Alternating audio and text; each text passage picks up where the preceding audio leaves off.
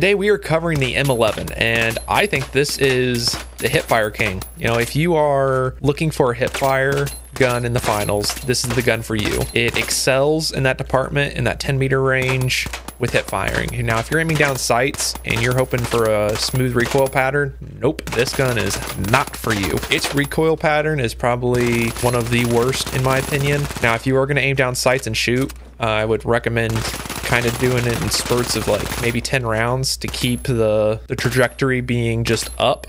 But once you get past a certain point, it's all over the place. Um, now, its damage profile is actually very similar, surprisingly, to the XP54. Um, but XP54 does very well in the medium, the little bit longer range opposed to this gun.